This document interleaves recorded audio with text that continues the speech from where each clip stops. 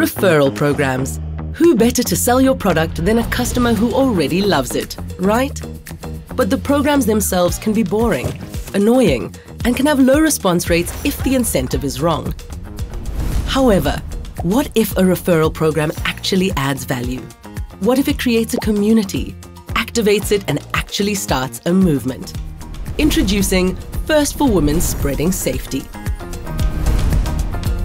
First for Women is insurance with a clear purpose to go the extra mile in keeping women safe. That's why it offers a range of unique safety benefits for its clients.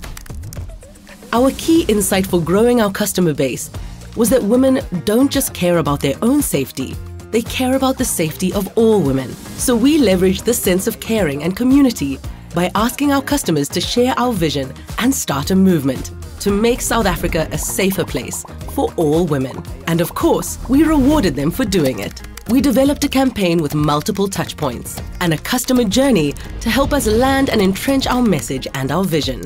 This consisted of a series of emails, SMSs, and data-free landing pages, supported by GDN banners and custom audience social, as well as a dashboard where customers could enter their loved ones' details and keep track of their awards.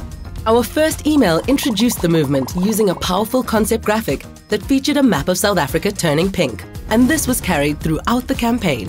Impactful copy invited women to help us to keep other women and their loved ones safe. Following emails continued to remind our audience of our goal and drive action, and the results were amazing. We targeted 55,000 of our active customers.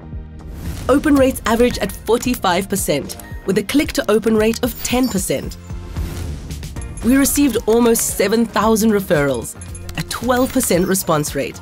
Our conversion rate from those who received quotes was 45%.